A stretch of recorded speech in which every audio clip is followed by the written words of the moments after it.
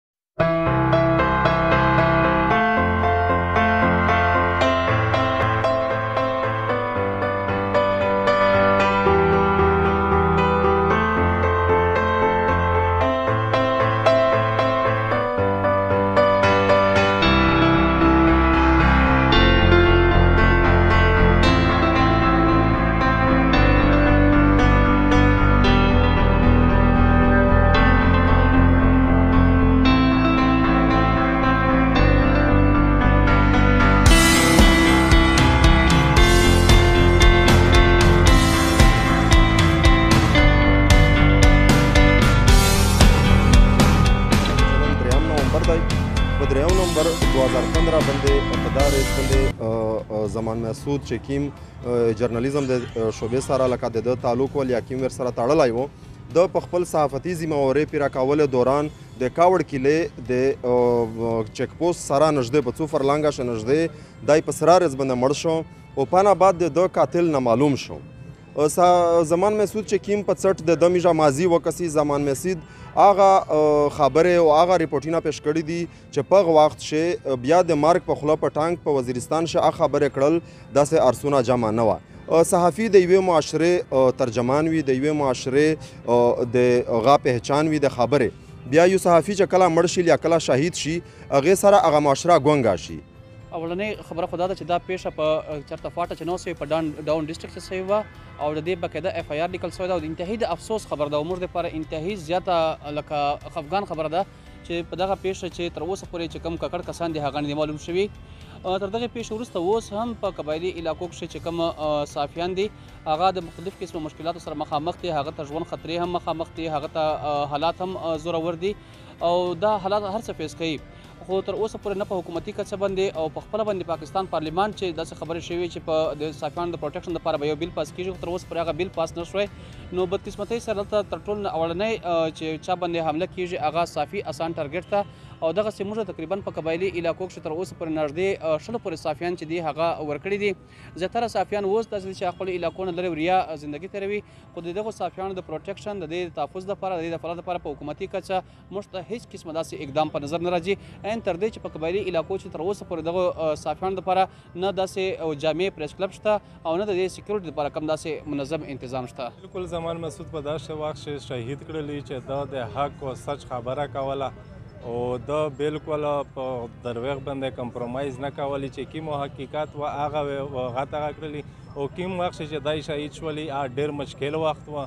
ډیر ټف وخت و نن سبو کا وکه سه نن سبو د هغه وخت په نسبت باندې ډیر شدای په ډیر مشکل وخت شد صحافت کاولی او د حق او سچ اوز یې پورته کاولی مان چې کیم و یقینا د غریب خلک د معصوم خلک اوز پورته کوو ډیر زیات خدمات به په فیلډ باندې چار کړ په خپل علاقہ کې چار کړ لازمان نو په دا وجه باندې زمان چې کیم و زمان شاید کړی شو نو زمان مش دا ویي چې زمان چې کوم بچون دي هغه سره په چار دي چې مرسته وشي دغه سره د کور ول دي حکومت سره باندې زمان سره داس خاص مرسته نه دي شوی او دغه سره مش دا ویي چې زمان چې کوم دی زمان چې کوم کتلون دي مچا شهید کړی دا هغه پلاټونه هم نه دي شوی او په نن سبا وخت یقینا صحافیون چې کوم دي خاص کر د قبایلی سیمه صحافیون دا ډېر زیات مشکل سره مخامخ دي د دې ته یو شمېر ستونزې مخامخ دي مخکې چې کوم چار دو داسې نه دو بیا چې کوم ادارې دي کوم ارګنایزیشن سره چار کوي هغه طرفه هم د یو تاده څخه شر سپان چې کوم دی ان چې کوم په د وطن باندې د مار د ژوبل لړۍ راونه دو هغه کې صحافیون ډېر په لوی تعداد باندې په غټه کې باندې ټارګټ شوی دي نو پاکې یو سپېڅلی شاهي زمان مسجد هم دی چې موږ یې د نوم سره هم اشنا یي موږ یې د چارې سره هم اشنا یي موږ یې د صحافت سره هم اشنا یي او نو په دغه باندې رټولي دلته چې کوم موږ روغلي صحافیون ملګري هم دي په دا کې نو او دا د انصاف زمان شهید ته د انصاف د ورکولې چې کوم منتظر دی د بچون دي خو موږ دا وایي چې صرف د بچون نه بلکې موږ ټول پښتانه دته د انصاف د ورکولې لپاره منتظر جی بالکل په دا نن ورځ باندې د میش ملګری زمان محسود چې یو ډیر تکړه او بادر جرنالست و او د علاقې د پر ډیر زیات خدمات وی زمان محسود په یو داسې ریز باندې دای په داسې وخت شو غاشو چې په دغه وخت شې د د علاقې ته ډیر سخت ضرورت خو شرپسند خلک چې کوم یې هغه دای شهید کو او نور څه نه و هغه صرف د دې علاقې هغه ترجمانی کړی او هغه په وجه یې دای شهید کو بیا د په دنیا شي چې څومره صحافیون یا نور داسې څه غاوه شي واقعیت وشي هغه خلک ته شهدا پیکیجز یا د هغه فیملی سره تعاون ماون کیږي خو دلته مختلف قسمه تمغه چې دی عاملاویږي هر څه ملاویږي خو زمان محسود د پورا وسه پر نه د فیملی سره په غرنګ تعاون وشو او نه د بچونه سره غره د بچونه د فیوچر د پر داسه تاونو شو چې وشي په چار دادو چې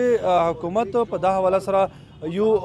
غو کو یو غور فکر کو دغه صافیون هچ دی کنه دغه بال باش دغه بچون دی پر سره سره دغه صافیون د تحفظ په حواله سره جدای کنه ازوت غو کو کردار ادا کو دغه پر دا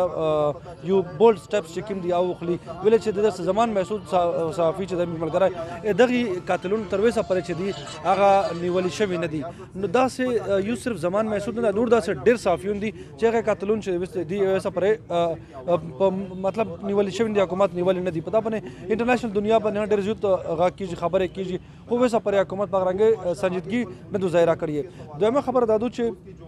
په جنوبي وزیرستان کې په صحافت کړل شي مش دا ویس هم ډیر زیات خرند دي ډیر زیات داسې مسایل دي چې هغه په وجه مش دا مسلې مسایل نشي حل کولای چې هغه په وجه باندې د علاقې چې کوم خلک دی هغه هندې میج نه خفا دی هغه هندا وی تو سه حق او سچ چې دای کنه نه کیس نه ویایسته او بد قسمتی دادو چې مشت هغه علاقې ته هغه غته ویس هون اکسس بغرنګ نت سره کسرنګ مشت پچار دی نو پچار دادو چې د صحافیونه چې کوم مسلې مسایل دی ته حکومت په غاو کو سنجګي سره غور او فکر وکړو چې د علاقې د خلک مسلې مسایل رو مخته کو او دا مسلې حل شي نو دا علاقې چې د پر امن هوي او ترقی هم کوي